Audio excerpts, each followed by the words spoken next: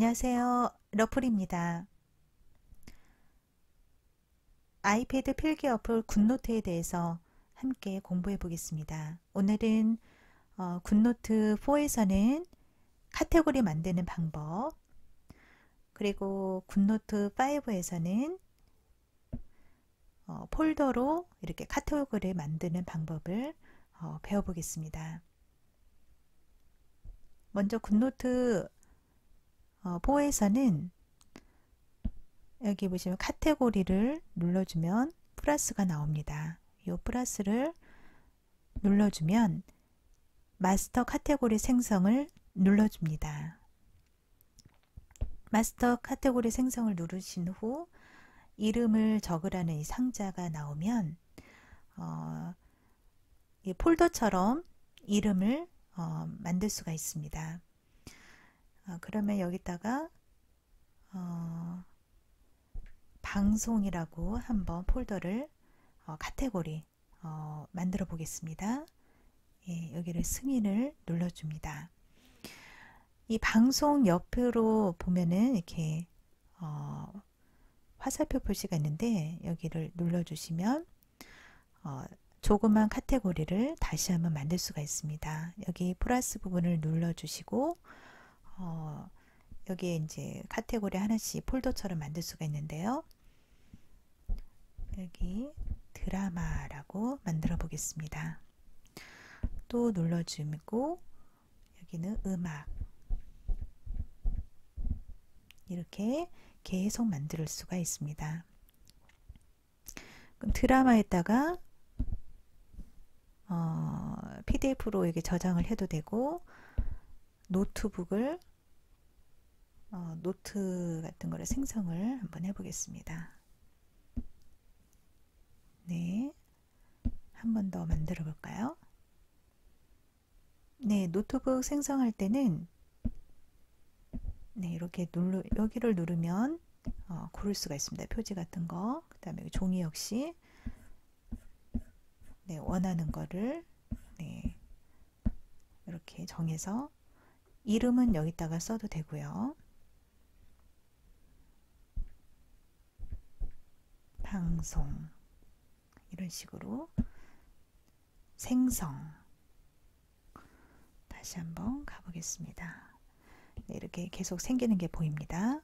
그러면 그 전에 어, 마스터 카테고리로 가면 처음에 방송을 제가 만든 게 보이죠. 그 다음에 여기를 눌러주고 드라마 음악이 보입니다. 이름 바꾸는 것도 어렵지 않습니다. 어, 마스터 카테고리 여기를 꾹 눌러주면 이름 변경이 나옵니다. 자 여기에서 숫자 1을 써보겠습니다. 이름을 따로 방송 알아 가기 이런 식으로 네 이렇게 변한 게 보이시죠? 이 안에 역시 마찬가지입니다. 이것도 이름을 변경할 수 있습니다. 이름 변경해서 음, 일일 드라마 승인 이런 식으로 바꿀 수가 있습니다. 네. 자, 굿노트 4는 이런 식으로 쭉쭉 만들어 갈 수가 있고요. 그럼 굿노트 5는 어, 카테고리가 어, 만들 수가 있는데 굿노트 5는 좀 더 업그레이드가 되었어요. 어, 이렇게 여기 플러스 이 부분을 누르시면 폴더를 만들 수가 있습니다. 이 폴더를 만들어, 만들어서 어, 이름을 적어 보겠습니다. 네, 이런 식으로 어, 제가 미리 만들어 놓은 것도 있는데 드라마라고 만들어졌습니다.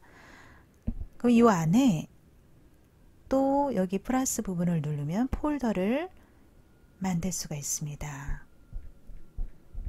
일일 드라마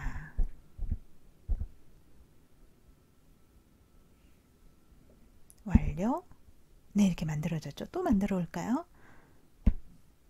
여기는 방송 네. 그 일일 드라마 안에 또 들어가면 네, 또 만들 수가 있습니다. 제가 끝까지 해보진 않았지만 계속 그 폴더 안에 폴더가 계속 만들어지기 때문에 어,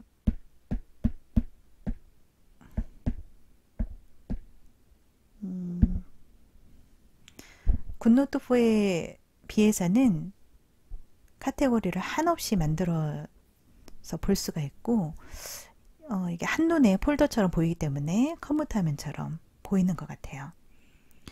그리고 여기 오른쪽 상단에 보시면 그 줄이 세 줄이 있습니다. 이 세 줄을 누르시면 어, 이 폴더가 순서대로 이렇게 나열이 되는 게 보입니다.